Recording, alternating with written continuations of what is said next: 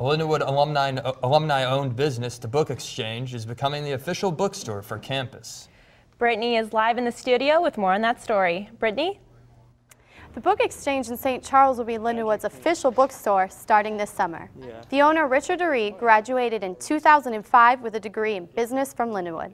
Six years later, his privately owned business store, bookstore has a great reputation with the school and students. They, uh, they told us they saw seen what we've done and they wanted to uh, work with us and we wanted to work with them. It's kind of a, a, mutually beneficial thing. The students win, we win, the school gets better service for its faculty and its students. Everybody's, everybody's a winner in this.